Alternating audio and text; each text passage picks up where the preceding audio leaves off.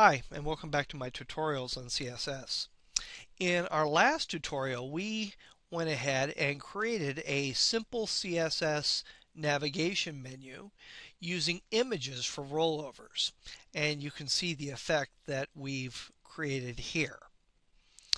Now, I'm in my HTML, and here is the code that we use to form that navigation menu.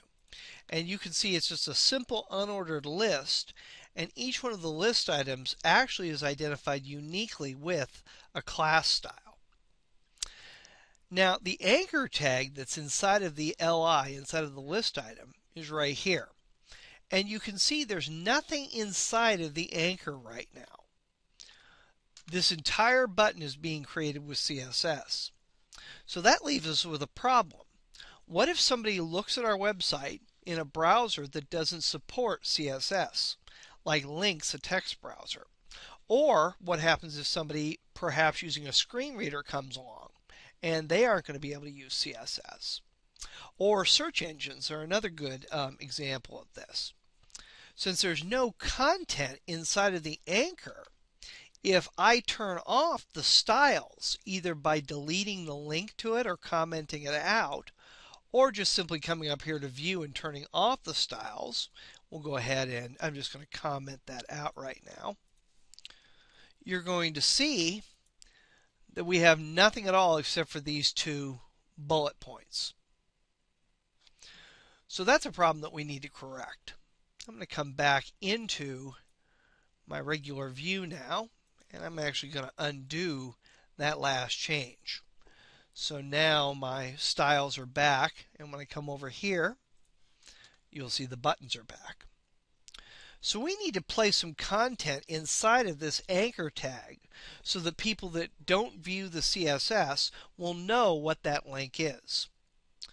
So what I'm going to go ahead and do is I'm going to click in the middle of these anchors and I'm going to go ahead and use the span tag. And inside of the span, span tag, I'm going to go ahead and type the name of the button, which in this case is home. And then I'll do that one more time down here, the span tag. And I'm going to go ahead and do about.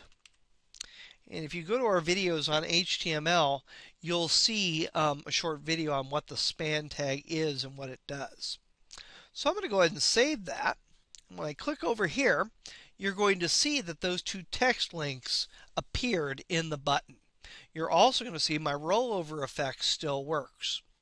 So now we have some text there for people who don't um, use CSS.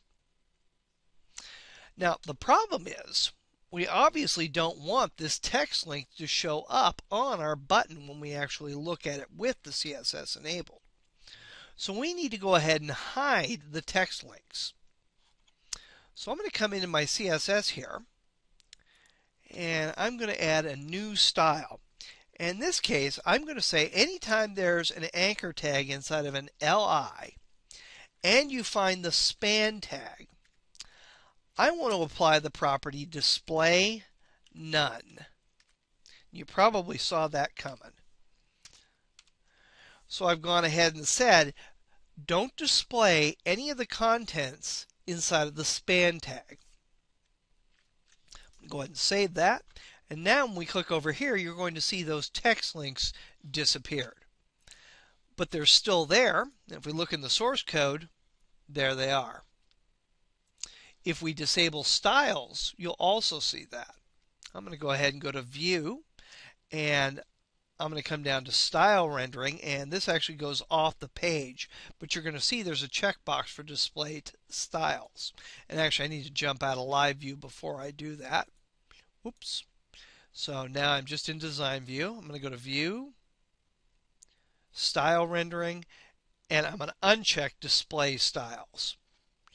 And now you're going to see the bullets are back but those text links appear also so when you can't, or so when you are seeing the CSS, you're going to get these buttons. When you're not seeing the CSS, all you're going to get are those text links. And that's exactly what we want. So that pretty much finishes what we need to do to create this CSS image rollover menu. If you go ahead and take a look at our finished project number three, um, we go ahead and use this technique. So in that video, you can see these buttons become a part of an actual design. And again, that's project number three.